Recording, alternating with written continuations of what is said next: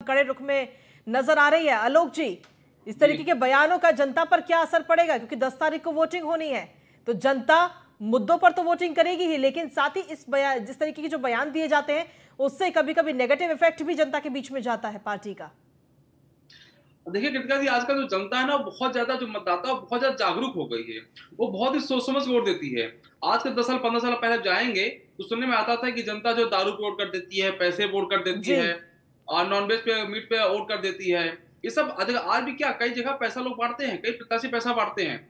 अच्छा जो मतदाता जिसको लेना है ना, वो चारों लोग पैसा ले लेगा। वो दारू बोतल भी लेगा, वो पैसा भी लेगा, सब कुछ ले लेगा वो।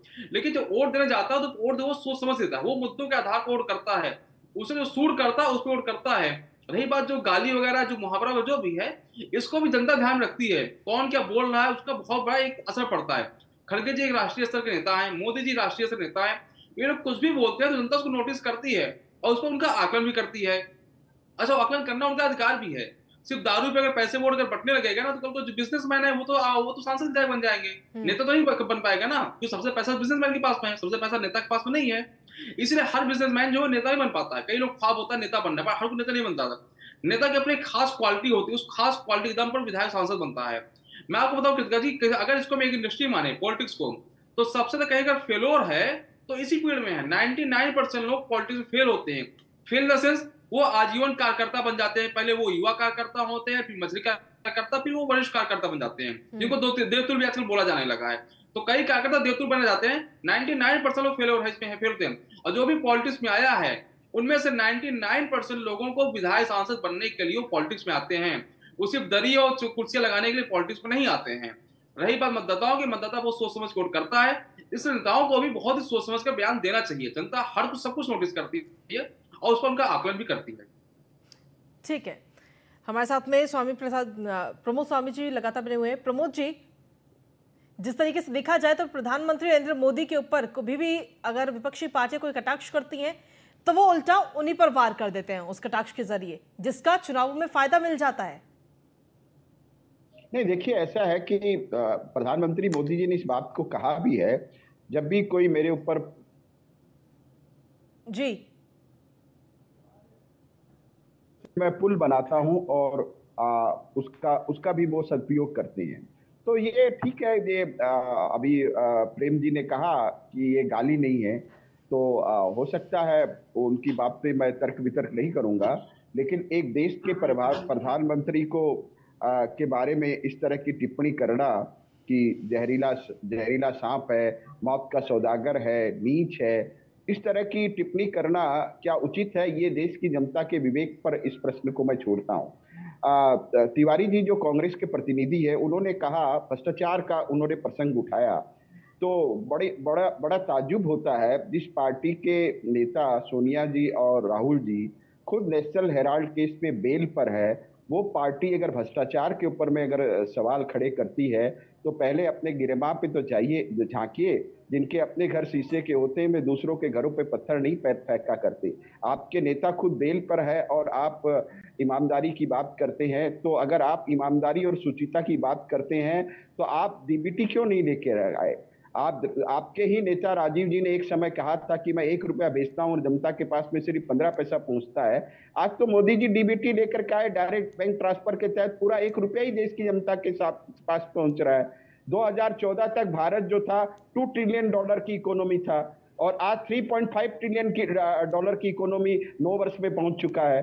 तो ये क्या बदलाव दिखाई नहीं दे रहा? ग्यारहवें ग्यारहवें नंबर पे हमारी इकोनॉमी थी वर्ल्ड में। आज पाँचवें नंबर पे हमारी इकोनॉमी आ गई। वो भी इतने बड़े कोरोना काल के जो पूरी, जो विश्व में जो त्रासदी हुई, उसके बावजूद भी हम आज पाँचवें स्थान पर पहुँचे हैं। तो क्या ये उपलब्धियाँ आपको दिखाई नहीं देती?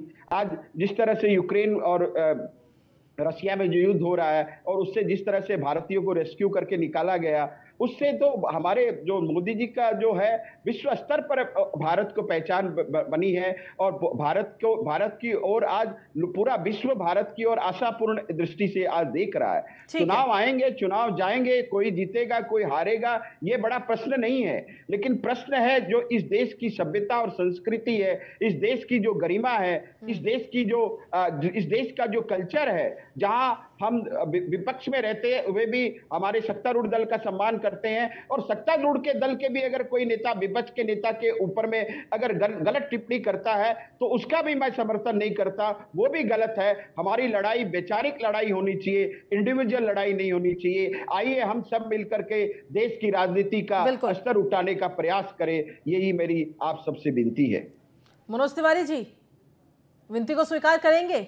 कि पर्सनल कमेंट ना करके मुद्दों पर बात की जाए टीका जी जो हमारे स्वामी साहब हैं उनकी जो अपील है मुझे नहीं लगता पत, ज़रूर मुझे ऐसी उम्मीद है कि अनुराग ठाकुर से लेकर के और तमा साध्वी प्रज्ञा तमाम लोग इनकी बातों को सुन रहे होंगे तो आपने बिल्कुल सही कहा देखिए आज जो बयान है और जो बयानबाजियाँ हैं आपके दल के नेताओं के द्वारा। अगर वो मर्यादित हो जाए मुझे लगता है तो कर्नाटका में आपकी ये दुर्गति नहीं होगी नहीं होती। हम्म। दूसरी बात मैं आपको एक बात बताता हूँ देखिए सुचिता तो सुन लीजिए आपने बोला मैंने नहीं बोला। मैं आपको आपकी बात का जवाब देता हूँ। देखिए हाँ, ऐसा है कि मैं बारंबार इस बात का सवाल आपसे कर रहा हूँ कि आप मुझे एक बात बता दीजिए कि भ्रष्टाचार सुचिता मर्यादा इन तमाम चीज़ों का अगर आप अवलोकन करें तो यही तो कारण है कि आपसे सवाल किया जा रहा है हम्म। कि कर्नाटका के लोग आपको आखिर 40 परसेंट कमीशन खोर की सरकार क्यों कह रहे हैं आखिर पूरे प्रदेश में इसी बात को लेकर चर्चा क्यों है और मैं आपको एक बात बताता हूँ देखिए सुचिता और मर्यादा का जहाँ तक सवाल है जिस दिन मुझे नहीं लगा मैंने आपको कभी नहीं देख सुन ये कहते नहीं सुना आप एक बार कहिए ना टेलीविज़न चैनल पर स्वीकार कर लीजिए कि अनुराग ठाकुर का जो मंच पर बयान था वो भाजपा और भाजपा की नीतियों के विपरीत था। बोलिए टेलीविज़न चैनल पर आप अपील किसे कर रहे हैं? आप अपील वो कर रहे हैं जिसको हम अपील कर रहे हैं। तो हमारे ही अपील को अगर आप स्वीकार करते हैं तो बहुत बहुत धन्यवाद आपको। हम तो यही कह रहे हैं। खड़गे साहब ने यही तो बोला है कि इस देश में सांप्रदायिक जो उन्माद है उसको खत्म किया जाना चाहिए। देश में भ्रष्टाचार के ऊपर चर्चा होनी चाहिए। आपने बोला बेल के ऊपर। अब मैं उसका जवाब दे देता हूँ। बार बार आप लोग कहते हैं, आप बताइए। आपको याद होगा कि कोर्ट में केस चल रहा है। दस वर्षों तक खट्टर साहब ने रॉबर्ट बाड्रा के नाम पर सरकार बनाई और क्लीन चिट किसने दिया? आपकी सरकार ने क्लीन चिट दिया। क्यों? यही तो मैं कह रहा हूँ कि आप लोग रेबल राउजिंग का गेम करते हैं चुनाव में। आपको याद होगा कि आज तक जितने भी आरोप आपके द्वारा लगाए गए उन एक आरोप को आपको सत्ता में आए हुए नौ वर्ष हो गए। एक भी सिद्ध कर पाए आप नहीं सिद्ध कर पाए। सिद्ध करने की बजाय आप क्लीन चिट दे रहे हैं। इसका मतलब आपके द्वारा लगाए गए तमाम आरोप जो थे वो राजनीतिक आधार पर थे। और हम बारम्बार कह रहे हैं कि राजनीतिक आधार पर लोगों को दिग्भ्रमित करने का काम आप लोग बंद कर दीजिए। देश की जनता बहुत जागरूक है और कर्नाटका तय कर देगा। कि आप लोगों की गलत बयानबाजी और लोगों को दिग्भ्रमित करने की राजनीति इस हम्म। देश में नहीं चलेगी। ठीक है। जी प्रमोद स्वामी जी। हाँ देखिए मैंने पहले ही कहा कि भ्रष्टाचार पर जो निर्णय होता है वो कोर्ट लेता है और कोर्ट इस बात का संज्ञान लेकर के इस पे निर्णय देगा। लेकिन ये तो सत्य ये तो सत्य है और ये तथ्यों के आधारित पर आधारित है कि नेशनल हेराल्ड केस में आपके नेता बेल पे है जमानत पे है। तो इस बात को स्वीकार करने में आपको क्या आपत्ति है? फिर एक नंबर बात। फिर दूसरी नंबर बात मैंने जब कही तो मैंने एक स्वस्थ चर्चा के तहत मैंने इस बात को रखा कि बयान जो है वो हल्के बयान किसी भी पक्ष की तरफ़ से नहीं आने चाहिए। चाहे वो सत्तारूढ़ पक्ष हो चाहे विपक्ष हो। हम्म। तो आप भाजपा के प्रवक्ता हैं इसी टेलीविज़न चैनल पर बोल दीजिए कि अनुराग ठाकुर के बयान को हम एक्सेप्ट नहीं करते उस बयान का विरोध करते हैं। आप बोल दीजिए टेलीविज़न चैनल पर। मैं बीच में नहीं बोलता आप बीच में मत बोलिए आप आप बोलिएगा। हाँ। मैं मैंने ये कहा कि सत्तारूढ़ और विपक्ष की किसी भी तरफ़ से हल्के बयानबाजी नहीं होनी चाहिए। अब इन्होंने किसी एक व्यक्ति के साथ ने उस बयान को जोड़ दिया। तो अगर ऐसे ही उदाहरण दे तो मैं सैकड़ों उदाहरण आपको दे सकता हूँ। प्रधानमंत्री को मणिशंकर ने नीच कहा। आप आप जहरीला खड़गे साहब, जहरीला साहब बोल रहे हैं। राहुल गांधी चौकीदार चोर बोल रहे थे। तो ये ऐसे तो सैकड़ों बयान है। तो इन मैं इंडिविजुअल पे नहीं जाना चाहता कि किसने क्या बोला। ओ, और वो वो बोलने का कोई तुक भी नहीं है। मेरा कहने का सिर्फ़ एक ही मतलब था कि कोई भी अगर संसदीय राजनीति में विश्वास रखता है चाहे वो किसी भी राजनीतिक दल का हो कमर के नीचे बाहर नहीं होना चाहिए। चुनाव जो है मुद्दों के आधार पर लड़ना चाहिए विचारधारा के आधार पर लड़ना चाहिए। और विचारधारा की बात अगर आप करते हैं तो देश में एक स्वस्थ बहस होगी ना। कि आप आप आप सुचिता की बात करते हैं तो आप जरा इस बात का जवाब दे दीजिए। आप डीबीटी क्यों नहीं लेकर के आ पाए आपके आपके अच्छा, राजीव गांधी ने कहा था कि एक रुपया भेजता हूँ पंद्रह पैसा पहुँचता है तो डीबीटी आप क्यों नहीं। लागू नहीं किए? आपके तो जो प्रधानमंत्री थे मनमोहन सिंह वो तो ऑक्सफोर्ड से पढ़े हुए बड़े विद्वान व्यक्ति थे। फिर उन्होंने क्या- इस लीकेज को खत्म करने के लिए आ, आ, क्यों व्यवस्था नहीं ली तो ये सारे प्रश्नों का अच्छा, जवाब प्रमोद जी, एक सवाल मेरा भी है इसी बीच। कि इसी बीच एक सवाल मेरा भी है। हमारी तरफ़ उठाएँगे तो आपकी तरफ़ पाँच उंगलियाँ उठेंगी इस बात का भी आप। ध्यान रखिए ठीक है एक सवाल मेरा भी है कि आप कह रहे कमर के नीचे वार नहीं होना चाहिए पर्सनल कमेंट नहीं होनी चाहिए लेकिन जो अभी हाल ही में अमित शाह ने कहा कि अगर कांग्रेस को चुनेंगे तो दंगे होंगे तो क्या मतलब है इस बात का नहीं कांग्रेस का इतिहास रहा है। आसाम में कांग्रेस की सरकार थी नीली में दंगे हुए कितने लोगों के कितने लोग लोग मारे गए। तो अमित शाह जी ने अगर कोई बात चुनाव के समय आ, कही है तो वो बात उन्होंने कुछ तथ्यों के आधार पर कही होगी। और कांग्रेस का इतिहास लेकिन प्रमोद जी सेंट्रल में तो आप भी बैठे ना अभी फ़िलहाल तो। तो सेंट्रल की भी तो कुछ ज़िम्मेदारी बनती है ना? मुझे कहाँ पर दंगे हो रहे आश्चर्य हो रहा उनको ध्यान दरअसल दिया क्या जाए। कि भारतीय जनता पार्टी का पक्ष रखने में दिक्कत हो रही होगी आपको सुचिता और मर्यादा के ऊपर।